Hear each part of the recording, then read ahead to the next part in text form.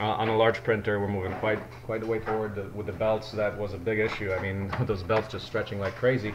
Uh, we, we learned that you really need the, the steel belted belts in order for larger axes to work like more than two or three feet because they just stretch so much. So if they don't have the steel belting in them, they're just too stretchy. And then when you go, it has huge backlash. That's what it means. Even if the belt is pretty tight, we couldn't get it tight enough to make it not have backlash upon reversing direction. We, what we would do is we would move one millimeter um, back and there would be no motion back. So it, it was at least like one millimeter backlash and everything else. And that, that was solved readily, actually, by using this small six millimeter. We went from the 15 millimeter to the six millimeter.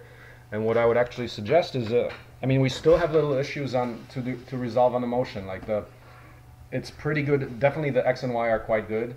They no backlash. Looks like the motion is great. On a Z, there's still a little a little bit of skipping.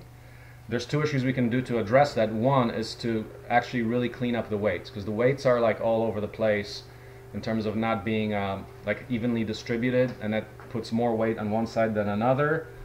Um, I would definitely clean it up because we got to, in order to get the top performance of it, um, we could do that. And there's definitely something we could do, like do a 12 by 12, one inch, that weighs 40 pounds. We can do one of those, put hang it by weld little rings on the side, hang it. But we also want to have the wires go straight down, so there is no no angles. Uh, and that's easy to do. We can do. Um, I've thought about that. We can do just, just an 8 millimeter bar on top welded to the frame and put the bearings on that and it would spin around the bearing so it's got a very smooth surface and like very Mhm. little friction. That's So you can nail that. Just make it go up, down, and then nice clean weight. That's also needed for the purpose of zeroing the Z motion because upon zeroing, you have to go bottom out at an even plane. So if your weights like are uneven, one might land on the ground uh, first rather than the other. Uh, so they have to be equal to start with. But probably the idea there is, you know, because there's four motors, you want to make sure that every print you're getting that all equalized. So go down, bottom out on a structure that's even. That could be even like the table we have, that little metal table. Like if you just bottom it out and you set that really even, then you know you're bottomed out. So what you do is you keep moving down and even like let it click, let it skip the belt a little bit, but you know that all the four went to the same place. Mm-hmm. And that's how we did it actually. We do that on a on a larger pros on the y-axis because they they could get out of alignment. What we do is we go all the way to the max until we hit the end where the end is at, a equal position and we let it click, belt skip a couple of times. So we know it's at that place and then we move it back and we know it's actually been aligned to, to the same place. So that the same kind of concept we want to use for the Z here and actually for the, the Ys too. And we have we want to do that within the the firmware too, like the start G code. In the start G code, we'll say move it all the way down until you bottom out, so you know you're even, and then start again. That's why we have Bottom this- out. Yeah, that's why the Yeah. stops is on one end of the axis. Is. It, Yeah. it simply knows the edge of that, and then it knows how many millimeters uh, there's left to the other side. Well, see, the end stop does not do that. The end stop is on one side only. Yeah, So you could, I don't think there's a way like for you to trigger two end stops at the same time. That's kind of not how it I works. Think Typ- so. Marlin can be configured uh, on both sides of the axis, of course. You can, Um, but it makes an, it makes a guess. but Ah, you mean for the bottom end? Oh, I got you. Okay. but for the But evening out of the axes, you want to travel the opposite way, not against the end stop, because typically we use one end stop anyway. So bottom out against the other side, which has a hard physical Yeah, stop. yeah, yeah. So just just make sure we have a hard physical stop there. So we could what we could do is put on like a collar on the one inch, or just let it bottom out way end at the ax way at the axis end. But since we weren't so accurate about how how even that is mounted on a frame, we might want to put a dedicated stop, which could be 3D printed or some one inch collar or something. but bottom That- out really means only the, the Z or Z axis, right? Uh, technically, Or- bottom out means like bottom, but But but I use the word bottom out Also for you also for the the Y. But why would we like to have that? Uh, So I mean, there's no guarantee that your x-axis. You don't know where this is. Like say this is the two mounts of the x-axis on the y's, you don't know where that is. There is no set Mm. that you do, and even if you print, Okay, gotcha. Okay, gotcha. sometimes you can maybe like hit something or your motor skips or whatever happens, you get out of alignment and everything is now skewed that you're printing. So a safe bet is upon every single print. You go, so it's like this, it goes, uh, and then evens out, So and for then the moves Y back. makes sense, not for the X, right? X is a single axis, so we don't need to do that. Okay, yeah, okay. We just have a one one end stop there. There's no paralleling issues there. The the issue comes in when you have parallel axes that you know they have to be moving equally. So even things like maybe the belt is tensioned like a little more on one axis than the other, and it goes off a little bit. Well, maybe that builds up over time. Uh, so it's safe to just bottom it out or max it out on the on the Y and then you know you're at the, a good place. And we already did that. So that's something that would go into the start G code. So in a startup startup sequence, before you start probing, you might want to do this to make it happen. Okay, so that's just about the mechanics. We're close to that. Like once we get this done, now the other thing is we have to change actually the firmware because right now we're set up for like uh, whatever, like 200 by 200 bed, well 150 and the firmware does not it messes up the motion. You have to tell it in firmware that you've got a meter bed because when it does homing it homes no more than 150 millimeters. So it just stops there. It never gets to the end stop. It thinks it's on a small bed so it thinks it should stop because it probably hit the end stop already we gotta just change the z- dimension how do you do that um, whoever wants to do that but uh, this is within nothing what to do with Cura. This is Arduino environment where you would open up your your code. Um, this is called configuration H within. So if you download Marlin, okay, let's take a look at say um, D3D Universal 2. Download Marlin, open it up within Arduino environment. Well, let's let's do that. So how does that whole process go? Arduino. So open up Arduino. You've got your, uh, I probably have, so, but in the Universal you've got of course the software. Download your Universal firmware, uh, the zip file, then extract it, uh, and then in Arduino uh, you would go file open and then you got your Marlin on desktop. We've got the Marlin Universal I just downloaded and takes you to the .ini file. Now you'll see this this Arduino code will have a bunch of tabs. Um, Marlin Universal. Uh, where are my tabs typically does anyone see the issue here Marlin. See what I'm saying? Well, I think Where are all the tabs? tab. Well, I you're now, I guess, in the library. Or? No. File. Take it back. I don't, don't- Open recent.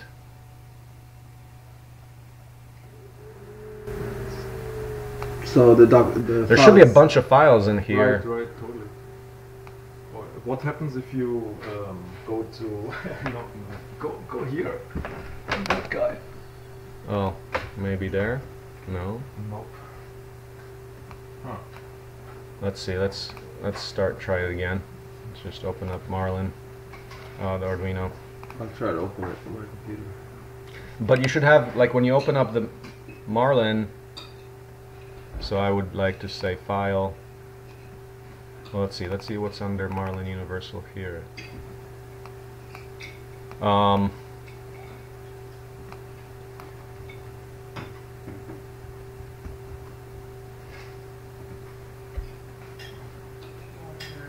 And you're saying each one of those files there is a tab? Yeah, yeah, it would show up as a tab, so I'm just wondering why. What happened here? Where's it going to? Marlin.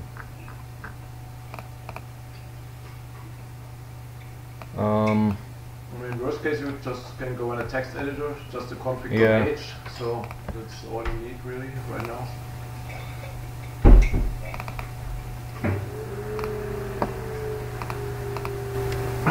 Okay, well, uh, something's weird here, but configuration H is the file that you want, so you'd want you'd want to open it up in text editor, and it has the settings here. There's a there's documentation if you start to build a new printer and you want to do all the kinds of different settings. There's um, it should be uh, it's well documented on the wiki somewhere like configuration H. How do you what are all the parameters that are relevant? But what we want right now is the bed size um, 3D printer software. Um, we've done, this so many times, but let's see. Well, you can actually. It's useful to actually look at what's all in inside this configuration H file but you'll see like a whole bunch of things like define serial port, baud rate, extruder number, blah blah blah. But you just kind of parse through it and then temp. So temperature, like minimum and max temperatures that you're allowed. Now here's the geometry, like end stops, like min and n, inverting it, whatever. Okay, axis steps per unit feed rates, accelerations. There's uh, extruder position compared to the where the axis is. Um, but here is this is like travel limits after homing. This is what you need. It's uh, bed size effectively. So so yeah, that's why like when you're I'm homing, it's limiting me out at 150. So here you got to change this to a thousand, and I think that's it at this point because otherwise we paid attention to like the end stop is at the x min, the y end stop uh, is at y max. So actually the configuration that we have in front of the on the printer is if we look west, meaning towards like look west from the east side that's like x y. So where's the end stop going to be X min is going to be on this side. So that's where the end stop is on an x but y max if you go in y y is that way y max means the end stop is there by the controller on the y so I made sure to do that so we don't mess change anything in the code so we, we have less versions of code that we have to change only thing we got to change is this bed size that's it so Well, just do that You could and that's it also change. Uh, right now you're limited to. Yeah. So do a thousand. So what do we got? We got like a thousand, probably like a thousand, and then we've got like two thousand or something. Um, so so we need to upload that. Ken, if you you've done this before, uploading, changing. You've changed stuff in configuration H, right? Yeah. So But if we we can just change. We don't really have a chance to move the bed really down. At least that's what I'm fiddling around with. Um, you know what I mean? You, it's um, once you have it basically auto homing, then the Once you home it, it's You can go down. and- yeah, and you, mm. but it will still. Uh, I don't think it We'll have a look. Okay. I don't think it would still let you get beyond that 150 until we change this here. So. Yeah. Okay. Let's have a Um, look at it. Uh, yeah. So, uh, but the idea is when you start, it only allows you to move a little bit until you home. Like it doesn't allow you to move negative too much. I think allows you to move positive. It's limited. You'd think like it's broken because you're trying to do the move move axis and Yeah, it doesn't want to move one way or the other. No negative. Yeah, but you can move backwards after you go up. So, but not to the negatives Mm. thing is there the first thing you got to do when you're testing is do the home auto home and that way you can once after that it'll allow you to move the entire bed everywhere but pending this change here so you actually get the full range of motion Yeah. So we should take a rough measurement in centimeters. The end stops i wanted to put them at the location where if you're triggered at at the home position you'd be at those at the corners. So the x minimum so it's right on the edge on the x and it's right on the edge of the Y at the at the back, so that when you print, you know you were right at the bed. You don't have to like give it extra steps, which would happen and start G code. It's like you would say move over until you reach the bed effectively. You know where the bed is compared to your end stops. But end stops right now are right at the bed, right at the corners of the bed. So we're we're good. So that's all, that's all we need to know on that. Now, pending that, we're ready to roll. Like, but I would, so definitely the the weights, we'll clean that up. I, I can work on that. I, I'll take the slabs and cut them on an iron worker and weld little tabs on them and do that. Um, the second thing is we can try two belts. I would actually try that. What if, well, for one, can we just get two belts on that one pulley? Would- would they cross? too, yeah. Do they cross? I think they might, they might jump. They might jump on you, but I mean, they are tight. Yeah. They are tight next to each other, so it's they might just stay because Try with one. should try try it with one. Try it with the one that was troublesome. If that works, I think we can just go with that uh, because I mean, especially if the belt pinch holds them maybe just at a little distance, it might Yeah. work just right. The other thing I was thinking, if that does not work, we can think about actually modifying those pulleys, as in there's a Ah, you could, you could you could slide that. I think you can slide that tab that's on top. We have to look at it. The worst case is you cut it, cut it in half, and then put a second one on. Maybe the two will fit, and then you have a uh, hacksaw. two- A hacksaw, cut it in half. Why, why that? Uh, Because what's the you, point of that? well, the idea here here is we're trying to use two belts, and you don't want them to cross. Oh, so now I got you. Sorry. Yeah, if yeah. they don't cross upon mounting, that'll be great. Oh, I got you. But right now the pulley is relatively wide, and I guess It's relatively the belt wide. could travel from you know between. But I guess in effect right now it seems it just stays at one, perhaps at one position at Yeah. the far end or, or at one side. But Maybe knows? it's perfectly fine to run two belts on one if the tensioning is good, because they will, you know, hit each other and should not Yeah, and uh, as soon as Should jump on one each other, one enough. We think Sure. we need two? Because Well, I mean, Just we're still just to make it more robust. I mean. Okay. right now we're definitely skipping at a force less than the motor can put put out. Yeah. So we're not tapping the full strength of the motors right now, Okay. the way it is. See, see, I would try for sure. The others are not. Yeah, the others. the others don't worry about those. Just fine. Yeah, but we should optimize this because then that gets us. We are limited on how much belt we have of that at the moment. Um, Um, we do not want to use up all the supply, so we can't do the cutting bed. Are we sure? Maybe we Oh, unless you have a huh? ton more here. I don't know. We might have I mean, I don't know. I, we maybe are just fine. I just don't want us to, Yeah. to make it not possible to do the cutting bed. Maybe we can kind of clamp the belt together of course, then. I think there was a whole. I think there was more rolls back in the corner there. Did you see more? There's like four bags, I think. Okay, so maybe So we I are pretty tight. We're, we're like we're on the edge. Okay. Yeah, we If we double up everything, I don't think we a will torch have, table. I mean, Okay. we need belts for the torch table. Yeah. and stuff like that. which Right. won't be heavy. We don't need. We only need one band on that. So Yeah. we should probably do that and then Yeah. like measure out the amount we need for that. Okay, that sounds good. Sounds good. So Um, before we move on, uh, Yeah. What about uh, bed leveling? About outline bed leveling, do we need to change uh, coordinates or something? Oh yes, yes, a good good point. So for bed leveling, we have a probe being at a little section. Yes, okay. Let's actually go back into take a look at that real quick,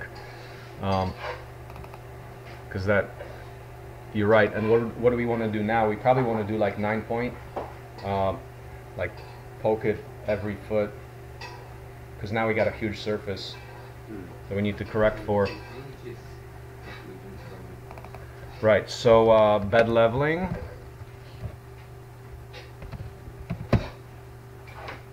So the bed leveling we- we were using was, um, oh man, yeah. Uh, we were doing this, not three point. We're doing. What are we doing? Four, Enabled. four points right now. Believe. So Just three? Okay. Auto bed level linear. Well, right now, for. For some reason I thought I counted four. well, actually, look. Uh, according to what we have here, it's this one is not commented out. So auto bed leveling linear and linear. So here's what linear does. You select number grid points. So here we would put three by three. And then we would change the bed positions from like left would be like uh, we could keep that but but right would be like 950 well let's call it make an easy number like 100 so 10 centimeters in. And then here we would go all the way to 900 and then we'd go again to 100 for the front and 900 at the backs because we got a meter bed. So something like that.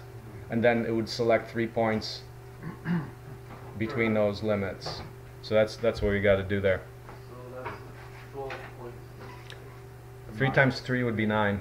But you got a hundred, nine hundred, a hundred, nine hundred. So left, right, front, and back. Yeah those are I four points of your probing area and you're Yeah, saying that one area and then there's three grid points. So a three by three grid. Yeah, so you- Yeah. find out. S- okay so that's a good job ken. That's we got to do that. Um, next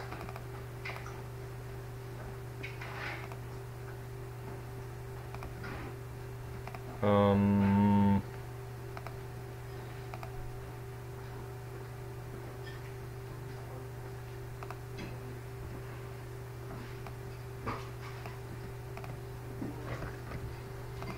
Okay, uh, that solves that. Uh, on a shredder, actually, hey, those we got two motors ready to go. So I would say, Brad, if maybe you could pick that up. Uh, but actually, Jeff needs help on taping, so do that. Okay. After you're done with that, yeah, let's go out there and pick them up, because then we can start setting up a table and doing all the Oh, shredder. wider? Yeah. We can cut the lengths Maybe- of our slabs of metal and, or, yeah. Okay, figure it all out. The, um. Yeah, like mounting the motors will be the first thing because we said that we're gonna decide on the exact length. It'll pr- probably be like limited by the amount of steel we have because it's like if it's 48 plates, that's like 48 feet of steel, or more like 40 feet of steel. Uh, I'd like to do like 24, 24 plates, which is I think we should do as many which is two feet, Yeah. two feet of length of grinder. Yeah, and that's like 40. Uh, they're gonna be like eight eight inches, so eight inches times 50, like 400 inches, which is um, yeah, like what is that like 40, 30, 40 feet or so. Uh, I think we have like 60 feet even. So uh, this is actually gonna get heavy, like uh, so that's another consideration there. yeah. Um, so shredder, we can go on that. Um, on the filament maker, let's set up that table to, to work on a filament maker. Uh, we, we should get those parts out so we can actually start playing with them and actually getting it all together. But um, yeah, the belts and weights are the two critical things just to make sure like, okay, we can get this thing rolling. We can actually now go all the way up and down. Let's try to print like a big column of um, just this thing like a tube or a cylinder that's just like huge. So let's try to do that today, like as soon as we can. Um, that's about all. On the torch table, we're moving right along. Any blocks there, or you, you ready to mount axes on the? to mount axes. How are you gonna do that? Um, We're gonna weld it, right? yeah, we can, we can just go through Yep. one s- side of the, the four inch and put, I don't know, pair of pliers. Well, or Christian, what are we doing? We went through that yesterday, yeah. Yeah. something. Oh, We're okay. gonna, um, well, we, we still need to cut eight more for the idler part. Right, because if we got, Oh, we, we need eight. we just need eight. We're just gonna put it in the back, on the, on the, like, So the idea was, torch. So let's go into the dock. So so torch table. This is useful to document because it's a cool way to hang stuff. But let's duplicate slide here. So so axis mounting on tubular frame because the holes we have one inch holes, but there's two tubing, so like it's kind of inconvenient. You have to use like a one inch bolt, but I mean, how do you mount our little axis with a one inch bolt or something? Uh, so, so axis mounting, what does it look like to square tube?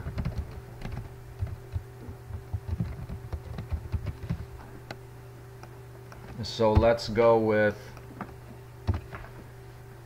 so if we have our axis this is from let's say from the uh, end view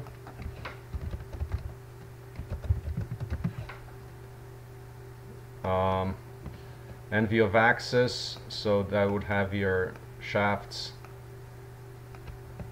like there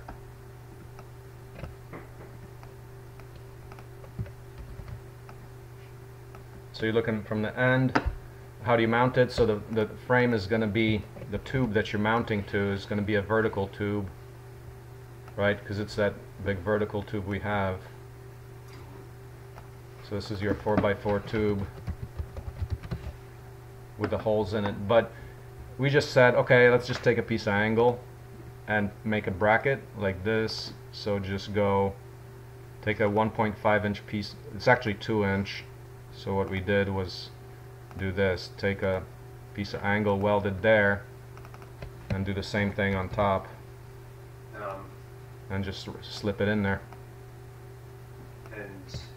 Okay, so that's that's what I'm saying. So that's the the motor part, right? that, I mean. yeah that's the motor part and that's and the idle part is the and same Why are we And not, the idle part is the same. yeah and why are we not just doing it like we've done all the others and just drill a hole through and you can hole through?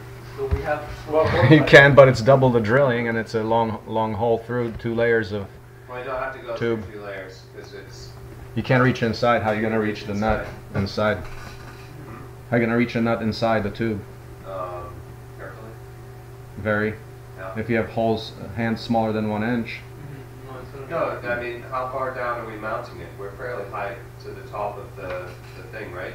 I yeah mean, you could you could get your hand in there. Yeah, there I, I already tested, okay like, seeing if I could do that, and all right Well, just that's- because I. you think- could do it uh, this is angles, at least at one axis, would like to see how that goes. Uh, the thing there is Not is, back to the shredder, I Yeah, I'm just trying to do. Yeah, you could do that. You could do that if you want to do that drilling. Yeah, But then you got to do precise holes. Here, you just weld them on and you're done. yeah, You got it's much it's harder what you're proposing. but then we've gotta get that tight, they've gotta be bang on level, otherwise, like, same, same, same, Well, they really. not really because you got two points and they just got to be at the same height. Yeah, If if they kind of are too wide, put a little shim in there to press it against. okay, Like if you know that little space there, if it's not accurate, just a little shimmy. Um, so I mean, either way, but I think this is much easier. It's this Okay. we already got the little pieces cut, and I'm I'm. Yeah. Let's try one of each. well, you could, yeah, if you want to try that. And then we'll choose the third option. And I, uh, to me, it seems like the the solution is clear. What's going to happen, but I don't. Uh, I'm not sure why you're So you're options are pursuing the pain of that drilling that it's hard work unless you're so pumped that man you just got it No, I Yeah, just- let's do Yeah. one axis with the angles and then, yeah. I, let's do this first, see how well it works, and, and if, Yeah. if it's all lovely, hunky dory, let's keep going like that. yeah All so about it. Yeah so that's welds there the red are welds So that's just the y axis. So we're just gonna this yeah this is y-axis Uh-huh. uh, the x hangs between the axis the y's Uh, so there we have The to Ys are the long ones, uh-huh. correct? yeah now do we have any issues mounting the the two x's to the two y's line. No i don't think so because we already mounted that we did that on the big printer already just need eight- Yeah, yeah, you're Yeah. right. Okay. Oh yeah, but there, like, okay, so here's here's the concept which people didn't do. So do this. Uh, let's make this a specific point. Uh, how do you actually do? Wait, slide, duplicate slide. Um, mounting the X, mounting X axis to Y. So there's a point where you want to get a good tight connection and to do that, so say this is your, well, once again, the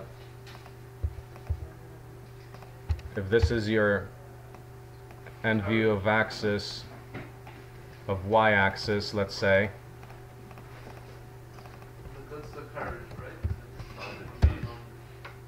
yeah, let's let's call that the carriage there, end view of y-axis of y carriage. So there's bolt holes that we have on top.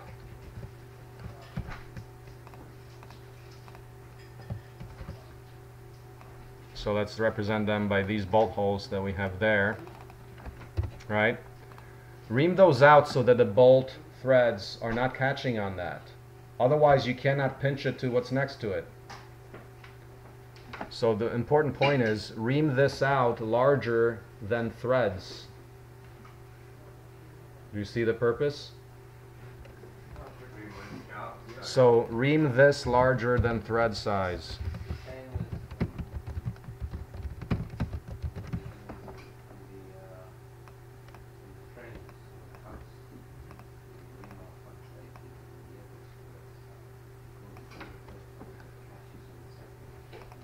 Okay, yeah, so it's, yeah. That wasn't done on a on a large printer. So there's a space there Just made it awkward. right now. And it's a looser connection. You don't have you only have bolt hold. You don't have friction hold. There's friction, there's clamp force that we're not using there right now. Now, when that happens, if you go in and then you come back out and go back in regularly, that solves that, doesn't it? Not if you're catching the same thread.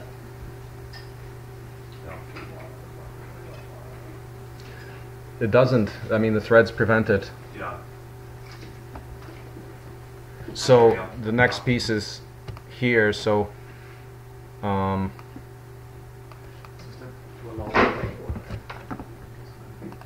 so the idea there is so this is like say the idler piece or like I don't know whatever um, this is the x-axis piece.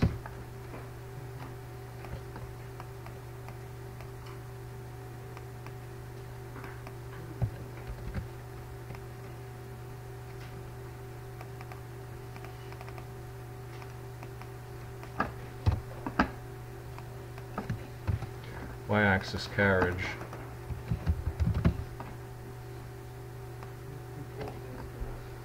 Yeah, that, that space closes up. This, so basically this way, the, let's draw a bolt there.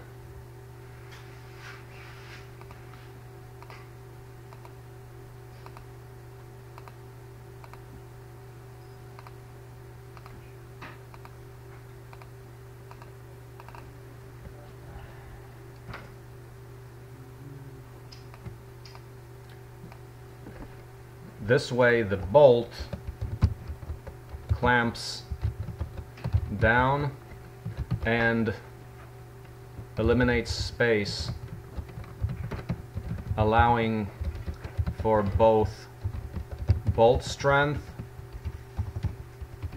and clamp force to hold axis x-axis to hold x to y. That's the reason.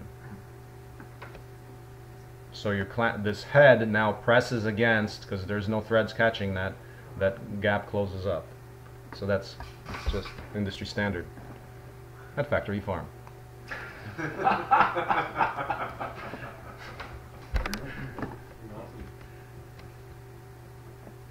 Yes, but pay attention to that because that's like, if you don't have that, I mean, your axe is going to wobble a little, but that's just quality loss on the on the output of the machine.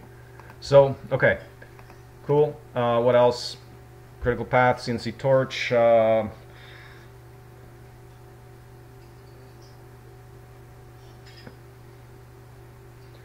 Yeah, we should for the filament maker. Let's just get out. I'll, can we clean up? Well, if we have a space there, take take one table dedicated to all those parts. Uh, but we don't like we don't have too many people, so I think we can probably get going.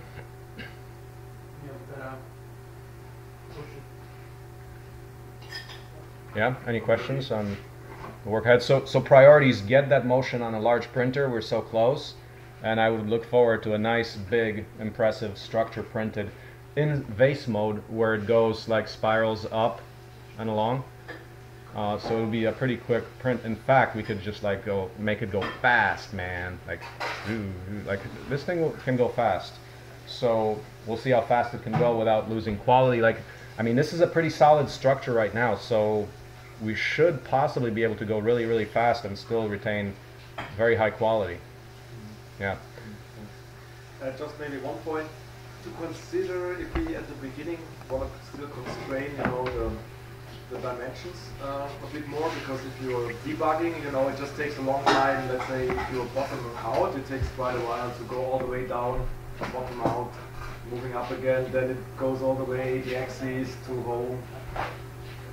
Those are actually settings within Marlin that you can speed the, all that up uh, if we want to. Um, just, just wondering if you do that maybe five times in a row, then it gets tedious. But yeah. just a thought. At, at that point, we would want to go into Marlin and get those speeds there. There's like, there's homing speeds. Uh, all those, I believe, are in configuration H. So if you parse that, see if you can up one of those values. I know that was an issue. Like once we got into those 12 and 18 inch beds, where actually, yeah, I speeded up the homing part. Where, yeah, you can make it go as fast as you want. Yeah.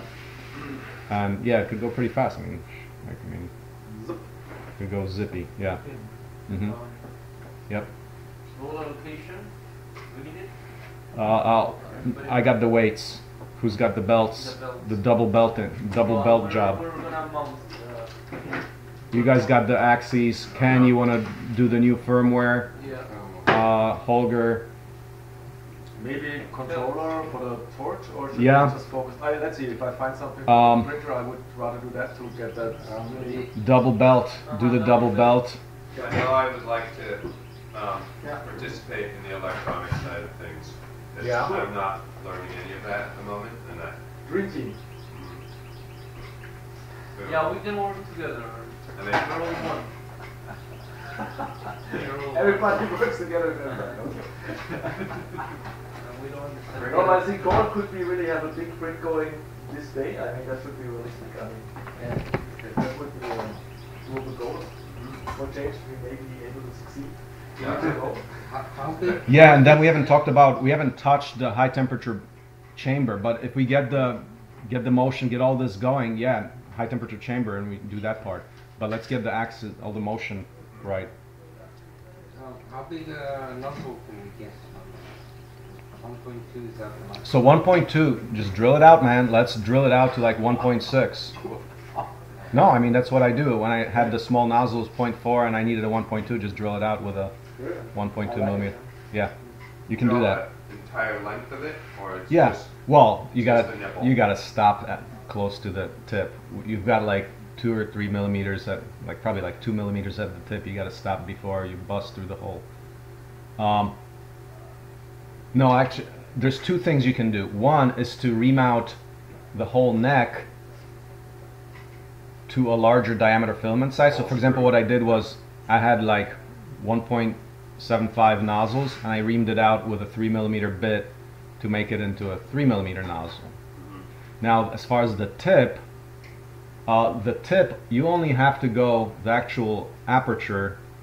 It narrows down, like it, it has the filament tube, and then it narrows down to the nozzle. Okay, so. So there, you just got to puncture a couple of millimeters. That's easy. Gotcha. But yeah, let's do like uh, the limit's gonna be the heating, how much we can heat. So if you press the 1.2 pretty hard, you probably get to the limit of how fast you can heat. So going to a larger nozzle actually does not help. So if we have uh, like a really warm environment, like it's still kind of summery right now, we could be in the probably though, right? well, all that is outside. All those parts are outside the chamber. That, that. Only the nozzle is like. The heating part is actually above. It's just the nozzle tip that's like right below that surface. Yeah. Um, right. But you can still put like a little shroud around that too if you want to. But Um, resync that?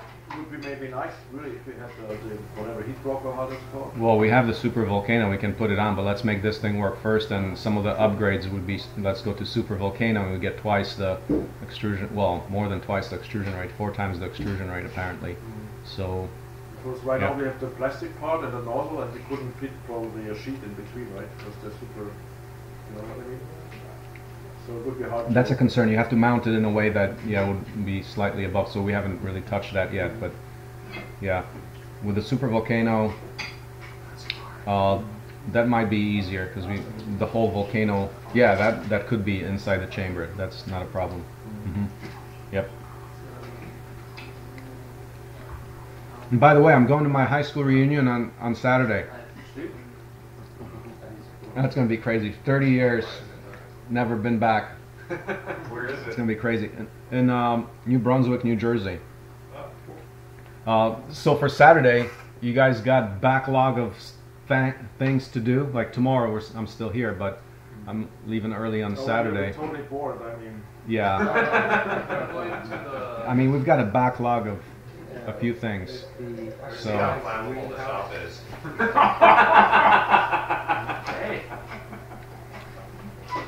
Um, but no worries. Just enjoy the reunion. Yeah. And Yeah, don't worry all gonna be fine. no problem. No problem. Going to the airport on Saturday?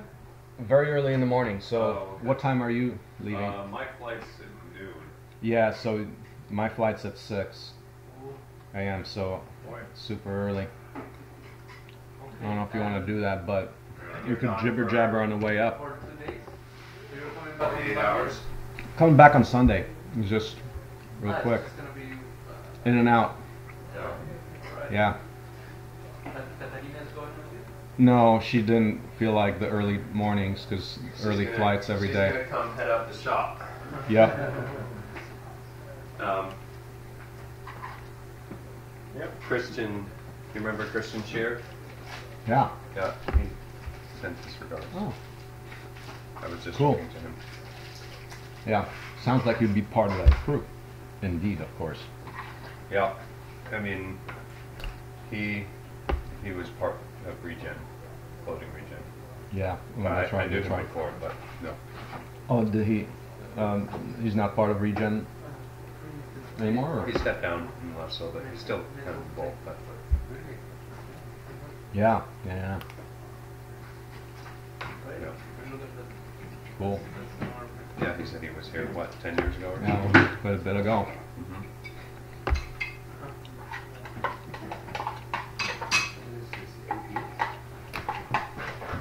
Yeah, All right. He has become quite the epic uh, Wesley I don't even crypto mogul. Is that so? More. More. Yeah. I, I but, uh, starting his own nation state. More light part. Like the